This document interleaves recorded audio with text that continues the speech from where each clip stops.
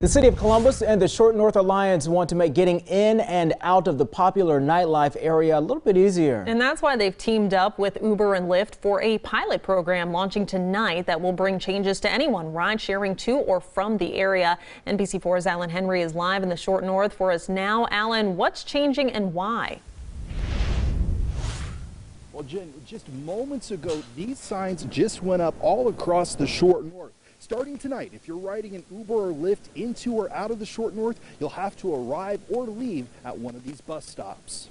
Gone are the days of getting picked up maybe precisely at your location. If you've ever called an Uber or Lyft late at night in the short north, you know how difficult and potentially dangerous that process can be.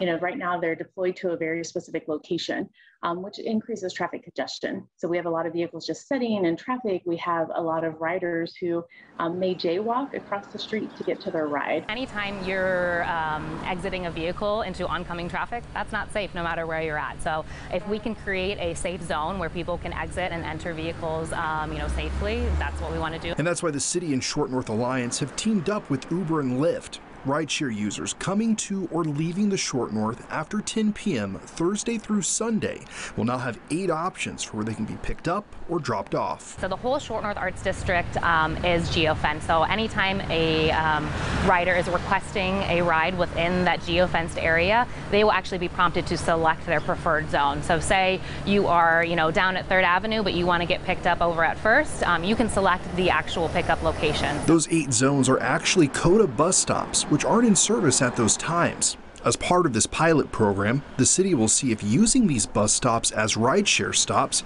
is a concept that could potentially work for other parts of the city. Right now, those bus stops are anywhere from, I think, 120 to 150 feet. So we can fit multiple cars in those spaces. So ideally, as long as that turnover remains quick and passengers are there, um, so as soon as their ride pulls up, they jump in and go. Hopefully things will keep moving consistently, but it's definitely something that we'll monitor.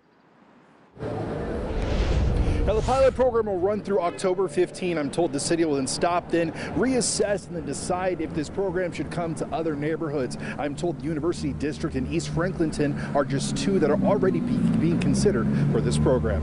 Local for you in the Short North, Allen Henry, NBC4.